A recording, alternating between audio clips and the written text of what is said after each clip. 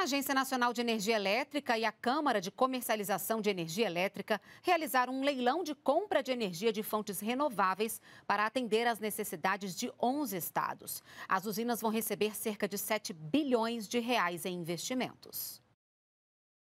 29 usinas foram contratadas, com uma potência total de 948 megawatts.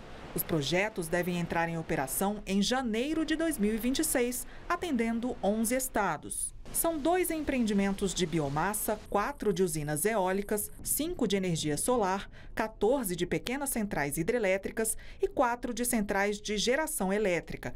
A energia foi adquirida pelas distribuidoras Semig, Coelba e Light. O preço médio de todo o leilão foi de R$ 258,16, com deságio médio de 9,33% em relação ao preço máximo determinado pela Agência Nacional de Energia Elétrica. De acordo com a ANEEL, esse deságio gerou uma economia para o consumidor de cerca de um bilhão de reais e evitou um aumento tarifário de 0,5%. O investimento previsto para implantar as usinas é de 7 bilhões de reais. A novidade deste leilão é que os empreendimentos de fontes solar e eólica foram colocados em concorrência direta. A fonte solar ela já está, já, já está bem mais competitiva do que no passado.